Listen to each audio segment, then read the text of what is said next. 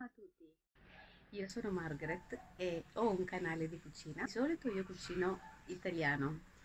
Perché cucino italiano? Perché volevo far conoscere la cucina italiana alle- ai miei amici, perché ci sono tante persone che non, sono- non- non sanno cucinare. Allora io non sono bravissima, però quel poco che lo so cucinare, far- volevo far conoscere pure a loro.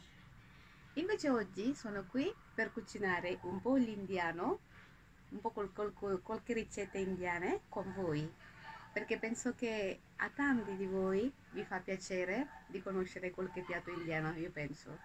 E qualcuno mi ha chiesto perché non fai anche delle ricette indiane? Allora ho deciso di fare questa volta, ricetta semplicissima, spezzatino indiano.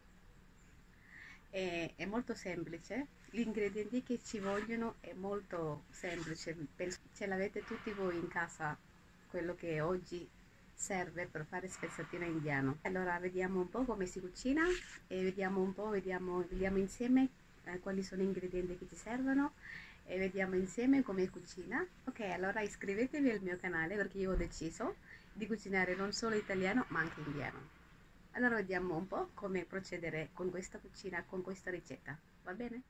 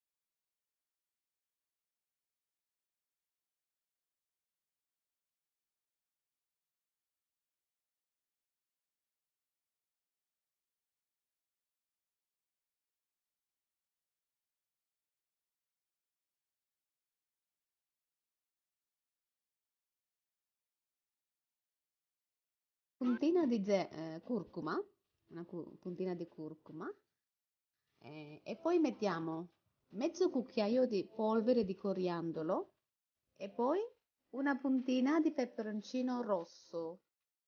Se voi mm, non vedete un po' voi come vi con- regolate con il peperoncino e poi invece di aggiungere l'acqua ho aggiunto diciamo più o meno un 4 cucchiaio di latte di cocco e, e poi mescoliamo tutto insieme. Eh, non ho aggiunto sale, sale, sale io aggiungo alla fine. Giriamo molto bene, per cui eh, mischia bene tutti i gusti che abbiamo messo dentro. Adesso chiudiamo e mettiamo a cuocere.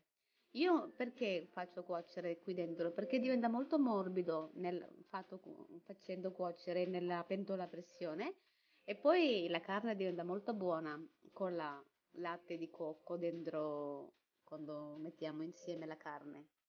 Ok, adesso procediamo con la, con, con la- con cucinare la carne. Aggiungo 5 cucchiaio di olio di oliva, ecco, 5 cucchiai di olio di oliva. E poi dopo, quando è bel caldo la, la padella, mettiamo prima la cipolla tagliata finemente, diciamo pezzi piccoli, e poi aggiungiamo il peperoncino verde. E questo è sempre eh, come, vo- come la vostra scelta, se volete aggiungere sì o no, o, o magari di più o meno, quello vedete voi. E poi aglio, e poi i pomodorini tagliati, no, scusate, no, pomodorini va aggiunto dopo. Facciamo diventare, facciamo rosolare molto bene eh, a fuoco media, diciamo, e aggiungiamo un po' di sale.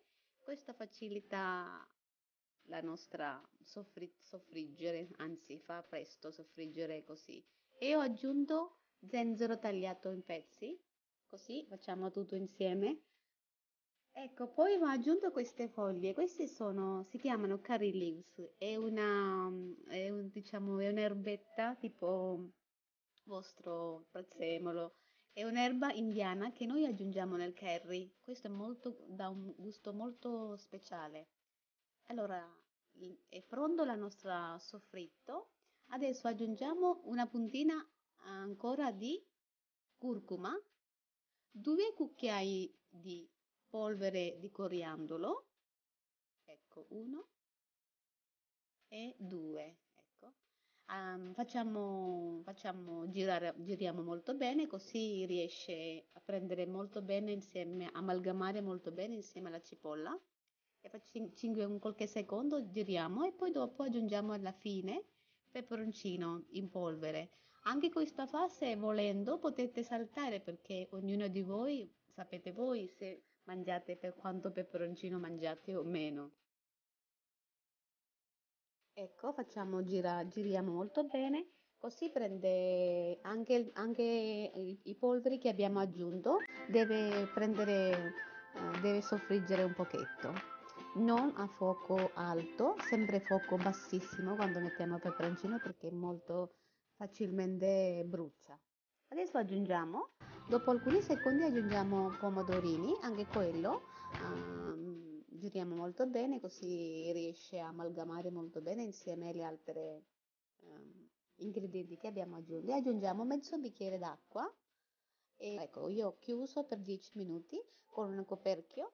Uh, dopo, dopo 10 minuti questo è pronto, La, questo si chiama masala, masala è pronto eh, adesso possiamo aggiungere la carne, la carne che abbiamo cotto precedentemente. Ok, prima di co- aggiungere la carne ho aggiunto un mezzo cucchiaio di garam masala.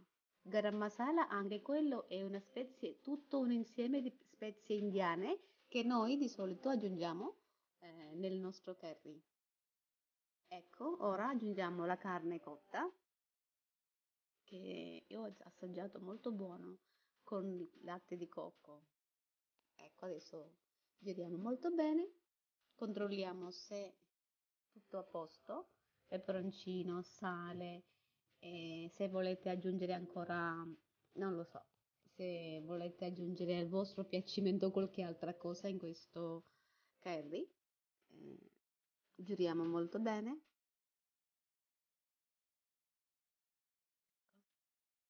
Adesso sì, aggiustiamo sale, magari possiamo aggiungere perché la carne abbiamo cotto senza salare, per cui forse ci vuole un po' di sale.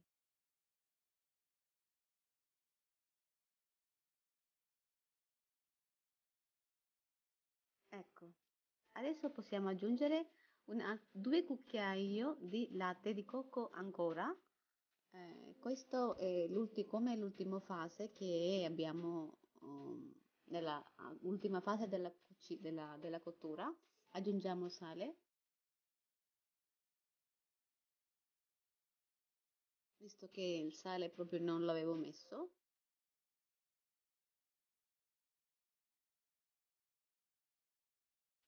Va girato molto bene così prende molto bene il gusto che abbiamo messo dentro nella padella